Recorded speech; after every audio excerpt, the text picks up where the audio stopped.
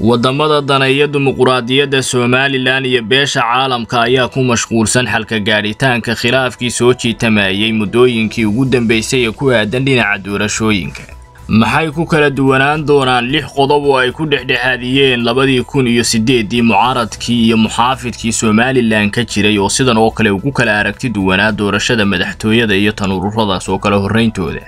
waxaynu warbixinteennan ku daaqaadaynaa kulamo habka fogaan aragga ah oo daneeyayaasha somalilan dimuquraadiyaddeeda iyo madaxweyne biixi dhex maray mucaaradkuna ay qayb ka ahaayeen.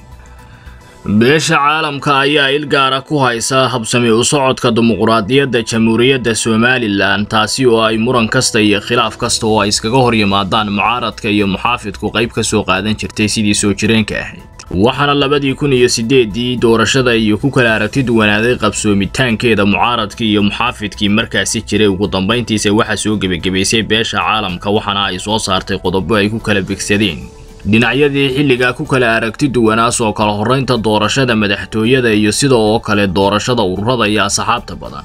hase ahaatee waxaa jira wakhtigan xaadirka ah caqabado hortaagan beesha caalamku inay go'aamo ka soo saarto doorashooyinka murankooda iyo siday u soo kala horraynayaan waxaana ka mid ah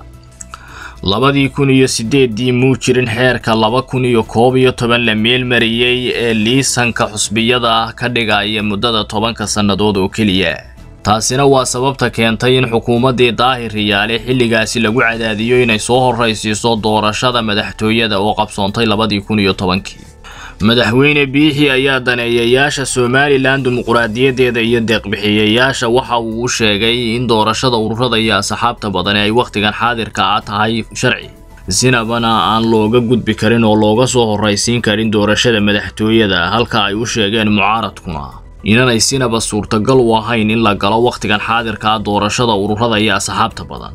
Waxaana xubnihii kala soo xidhiidhayay caalamka ee dhinaca fogaan aragga ah iyo weliba wefdi somalilan yimid dhowaan ay ku jaahwareereen meelaha ay kala taagan yihiin mucaaradka iyo muxaafidka somalilan taasina waxay sababtay inuu dib u dhaco oo ay ku hiili waayaan go'aan qaadashada iyo dhexdhexaadinta labadan dhinac ee wakhtigan xaadirka ah jamhuuriyadda somalilan. Ku kala aragti duwan waddamada daneeya dimuquraadiyadda somalilan iyo beesha caalamka. Waxaana ay qolo walba ku ixtiraamayeen beesha caalamka fikirka ay taagan tahay iyo mowqifkeeda inkastoo ay ilo xogogaal inoo xaqiijiyeen madaxweyne biixi inay garwaaqsadeen hadalkiisa maadaama uu dastuurka iyo shuruucda somalilan oo qoran isagu yahay mowqifkiisu. Waxaana la filayaa dhowaan inay qodobo ay ku kala dhexgelayaan mucaaradka iyo muxaafidka somalilan soo saaraan waddamada daneeya dimuquraadiyadda somalilan iyo beesha caalamku. Kuwaasi oo la filayo inay ku kala begsadaan dhinacyada muddooyinkii ugu dambaysay ku kala duwanaa siyaasadda iyo doorashooyinka jamhuuriyadda somalilan.